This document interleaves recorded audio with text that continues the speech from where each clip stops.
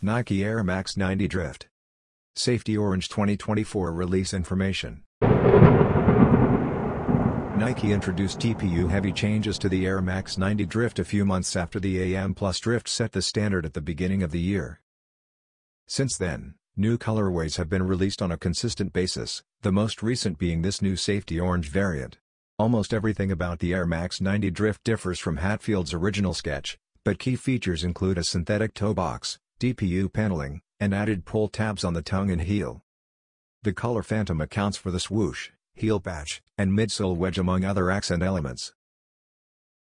The Air Max 90 Drift Safety Orange Phantom Dark Smoke Gray is currently scheduled for release in the autumn 2024. SRP is 160 US dollars.